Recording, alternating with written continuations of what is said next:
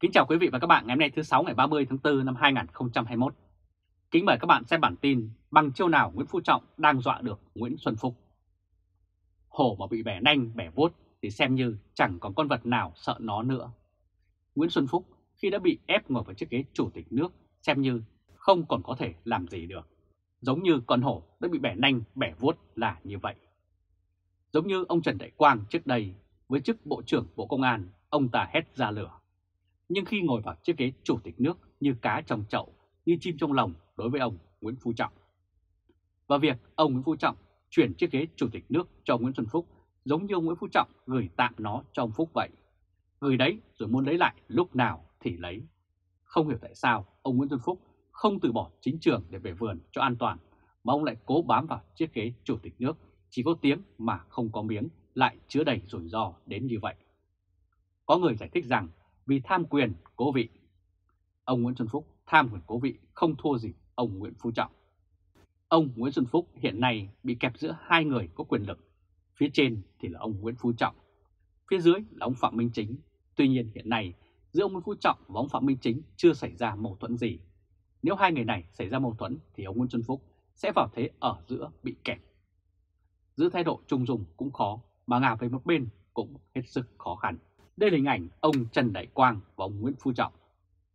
Việc ông Nguyễn Phú Trọng lấy chiếc ghế chủ tịch nước của ông Trần Đại Quang bằng cách nào thì chắc là ông Nguyễn Xuân Phúc hiểu hơn ai hết. Cái kết kiểu như Trần Đại Quang vẫn còn đang treo lơ lửng trên đầu ông Nguyễn Xuân Phúc bất cứ khi nào. Nói về quyền lực thì những thông tin so sánh ông Nguyễn Xuân Phúc với Nguyễn Phú Trọng thì không có gì.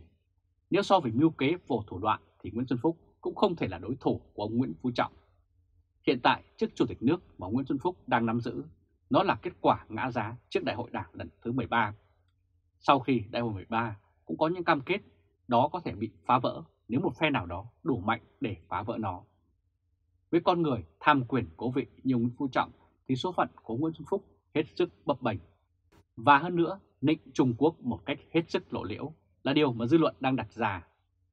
Sau khi lên làm chủ tịch nước, ông Nguyễn Xuân Phúc đã có phát biểu vuốt đuôi theo hành động của ông Nguyễn Phú Trọng. Cách làm này cho thấy ông Nguyễn Xuân Phúc đã khá khôn ngoan khi mà ông đã tỏ ra làm người ủng hộ những hành động của ông Nguyễn Phú Trọng. Ông Nguyễn Xuân Phúc đã không chọn cách làm của ông Trần Đại Quang trước đây là không có thực quyền mà cứng với ông Nguyễn Phú Trọng. Việc ủng hộ ông Nguyễn Phú Trọng không những mang lại cho Nguyễn Xuân Phúc thêm bạn bớt thủ, mà còn tìm kiếm được sự trợ giúp từ Bắc Kinh. Cơ hội đến khi vào ngày 26 tháng 4 năm 2021, ông Nguyễn Xuân Phúc đã tiếp ông Ngụy Phượng Hòa, Ủy viên Quốc vụ viện, Bộ trưởng Bộ Quốc phòng Trung Quốc tại Hà Nội. Ai cũng biết ông Ngụy Phượng Hòa chính là sứ giả của ông Tập Cảnh Bình. Thỉnh được Ngụy Phượng Hòa đến, ông Nguyễn Xuân Phúc lại có cơ hội giải bày nguyện vọng đó với Bắc Kinh. Được biết, ông Nguyễn Xuân Phúc tiếp ông Ngụy Phượng Hòa trước khi ông này có cuộc gặp với ông Nguyễn Phú Trọng và Chủ tịch Báo chí Trung Quốc cũng đưa tin ông Phúc khẳng định là sẽ không theo các nước khác chống lại Trung Quốc. Phát biểu được cho là của lãnh đạo Việt Nam đã gây chú ý cả ở trong và ngoài nước cũng như quốc tế giữa bối cảnh các phản ứng của Hà Nội đang được theo dõi kỹ trước sự kiện hàng trăm tàu cá của Trung Quốc đang hiện diện ở khu vực đá Ba Đầu thuộc quần đảo Trường Sa mà Việt Nam tuyên bố chủ quyền. Đây là hình ảnh ông Nguyễn Phú Trọng và Nguyễn Xuân Phúc. Việc hai tờ báo Hoàn Cầu Thời báo đã có bình luận rằng Việt Nam đã có những bình luận tích cực về mối quan hệ với Trung Quốc trong chuyến thăm của Ủy viên Quốc vụ viện Bộ trưởng Bộ Quốc phòng Trung Quốc Ngụy Phượng Hòa và nhấn mạnh rằng Việt Nam sẽ không bao giờ đi theo các nước khác để chống lại Trung Quốc, là một tín hiệu cho thấy Bắc Kinh đã chấp nhận ý nguyện thuần phục của những người đứng đầu của Đảng Cộng sản Việt Nam. Và nếu quan sát kỹ thì sẽ thấy ông Nguyễn Xuân Phúc đã tránh lạc nhịp với Nguyễn Phú Trọng. Một mình ông Tập Cảnh Bình gọi tất cả hai người Nguyễn Phú Trọng và Nguyễn Xuân Phúc đều đồng loạt lên tiếng. Một mình Tập Cảnh Bình sang Việt Nam thì cả Nguyễn Phú Trọng và Nguyễn Xuân Phúc đều phải ra sân đón tiếp. Bởi đơn giản, một mình ông Tập Cảnh Bình kiêm cả hai chức Tổng Bí Thư và Chủ tịch nước. Trước đây, một mình ông Nguyễn Phú Trọng, tiếp Tập Cảnh Bình đã đủ vì ông Trọng cũng thế kiêm hai chức.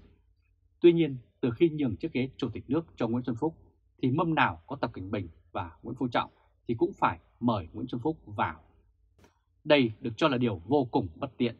Chính vì vậy ông Nguyễn Xuân Phúc phải hết sức cẩn thận, nếu không thì nhận lại cái kết đắng giống ông Trần Đại Quang với cái chết vì những virus lạ không tìm được nguyên nhân là khó tránh khỏi. Được biết, ông Trần Đại Quang là người đã không đồng điệu với ông Nguyễn Phú Trọng trong nhiều vấn đề và ông Trần Đại Quang đã phải nhận cái kết quả đến như vậy. Trong cuộc gặp của Nguyễn Xuân Phúc với ông Nguyễn Phụng Hòa, tờ báo Nhân dân đã có lời dẫn của Nguyễn Xuân Phúc nói rằng Chủ tịch nước khẳng định hợp tác hai bên đi vào thực chất môi trường hòa bình ở Biển Đông được giữ vững chính là điều kiện thuận lợi để các cơ quan chức năng hai bên giải quyết những vấn đề còn tồn tại, nhất là vấn đề trên biển. Đây là hình ảnh ông Nguyễn Xuân Phúc tiếp ông Ngụy Phượng Hòa. Tờ báo Nhân dân còn nói thêm rằng Chủ tịch nước Nguyễn Xuân Phúc mong muốn quân đội hai nước tiếp tục tăng cường xây dựng vững chắc lòng tin chiến lược. Trong khi Tổng Bí thư Nguyễn Phú Trọng thì lại mong muốn hai đảng, hai nước tiếp tục nỗ lực để giữ gìn môi trường hòa bình, hợp tác trên cơ sở tôn trọng lợi ích chính đáng của nhau. Không biết lời nói này của Nguyễn Xuân Phúc theo tường thuật của báo Nhân dân đúng sự thật được bao nhiêu phần trăm, nhưng rõ ràng so với những gì mà Hoàn Cầu Thời báo đã nói là có sự khác nhau. Có lẽ báo Nhân dân đã gọt rũa lời ông Nguyễn Xuân Phúc để cho dân không phải chỉ trích thái độ nhu nhược của Tổng Bí Thư cũng như Chủ tịch nước Việt Nam. Những gì ông Nguyễn Xuân Phúc nói qua tường thuật của Hoàn Cầu Thời báo cho thấy ông Phúc đã nói rất đúng chủ trương của ông Nguyễn Phú Trọng. Và đến đây có thể nhận ra rằng có thể Nguyễn Xuân Phúc muốn phò ông Nguyễn Phú Trọng tiếp tục. Trong tình thế của ông Nguyễn Xuân Phúc thì ông không có lựa chọn. Quyền lực không có thì nói khéo, lại như Trần Đại Quang hay Nguyễn Bá Thành thì chỉ chuốc họa vào thân. Trong tình thế bị Trung Quốc đe dọa thì quan chức Việt Nam hầu như đều có phản ứng tiêu cực. Tuy nhiên, trên danh nghĩa người đứng đầu nhà nước, ông Nguyễn Xuân Phúc hoàn toàn có thể nói những lời vô thưởng vô phạt. Nhưng cuối cùng, ông lại đưa ra một bài phát biểu có thể gây bất lợi cho Việt Nam trong cuộc đấu tranh giành chủ quyền và khẳng định chủ quyền của mình với nước láng giềng Trung Quốc, nhất là khi ông Phúc đã có một thời gian điều hành chính phủ trong giai đoạn diễn ra nhiều biến động căng thẳng trong mối quan hệ với Trung Quốc và trên Biển Đông. Đây là hình ảnh át hẳn là ông Nguyễn Xuân Phúc không muốn ông là người Trần Đại Quang thứ hai. Đây là lần thứ 6 Bộ trưởng Quốc phòng Trung Quốc sang thăm Việt Nam. Chuyến đi này nằm trong chương trình giao lưu hữu nghị quốc phòng biên giới Việt-Trung. Thực chất của những lần gặp gỡ này thực ra là những lần ông Tập Cảnh Bình cử sứ giả quân sự sang Việt Nam để thăm dò thái độ của Hà Nội. Trong bản tin của tờ Hoàn Cầu Thời báo, ngoài việc đưa phát biểu được cho là của ông Phúc lên làm tiêu đề, bài báo còn dẫn phân tích của các chuyên gia Trung Quốc và nói rằng Hà Nội ngày càng trưởng thành, đồng thời lưu ý rằng chiến lược Ấn Độ Dương-Thái Bình Dương do Mỹ đề xuất sẽ làm suy yếu sự hội nhập, thống nhất và hòa bình trong khu vực vì nó dùng sự khác biệt giữa các nước trong khu vực cường điệu và làm leo thang căng thẳng và Hà Nội không muốn bị lợi dụng. Trong chuyến thăm Việt Nam, Bộ trưởng Bộ Quốc phòng Trung Quốc đã gặp Bộ trưởng Bộ Quốc phòng Việt Nam, Thượng tướng Phan Văn Giang. Và cũng như vậy, ông Phan Văn Giang cũng nói về tình hữu nghị, chứ không hề đề cập gì đến hành động của Trung Quốc ở bãi đá Ba Đầu đang hết sức căng thẳng. Trước mắt, ông Phan Văn Giang và ông Nguyễn Xuân Phúc và ông Nguyễn Phú Trọng là bộ ba hợp thành giàn đồng ca, chấp nhận thân thiện hơn với Trung Quốc, bất chấp những phép thử của Trung Quốc trên Biển Đông. Trong đó, ông Nguyễn Phú Trọng là chủ trương thân Bắc Kinh, còn Nguyễn Xuân Phúc và Phan Văn Giang cùng nhau phụ họa. Quý vị và các bạn vừa theo dõi chương trình truyền hình trực tiếp của Lê Trung Khoa, Thời báo chấm ngày hôm nay thứ sáu ngày 30 tháng 4 năm 2021 với bản tin Bằng chiêu nào Nguyễn Phú Trọng đang dọa được Nguyễn Xuân Phúc. Quý vị và các bạn hãy chia sẻ video này cho nhiều người biết và bấm theo dõi YouTube và Facebook của Thời báo chấm để luôn được cập nhật những bản tin mới nhất, nhanh nhất và trung thực nhất.